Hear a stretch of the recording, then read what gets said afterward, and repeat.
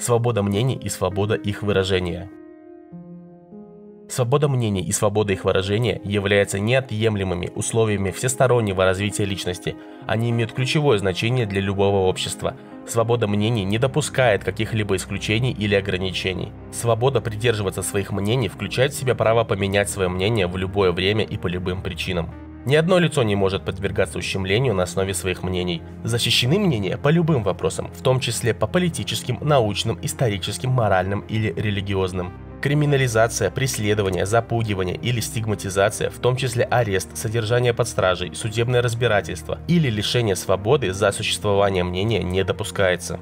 Государство обязано гарантировать право на свободу выражения мнений, в том числе право искать, получать и распространять всякого рода информацию и идеи независимо от государственных границ. Это право включает в себя передачу и получение сообщений, содержащих всякого рода идеи и мнения, которые могут быть переданы другим лицам. К ним относятся политические выступления, комментарии на личные темы, сбор сведений, обсуждение вопросов прав человека, журналистская деятельность, культурное и художественное выражение, преподавание, а также религиозные выступления. Свободные, не подлежащие цензуре и ограничениям пресса или другие средства информации в любом обществе являются важным элементом обеспечения свободы мнения и их выражения должно быть предусмотрено право на доступ к информации, имеющейся у государственных органов.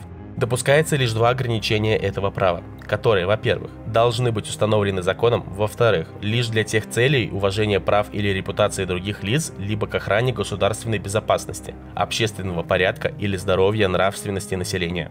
Однако эти ограничения не должны ставить под угрозу сам принцип этого права.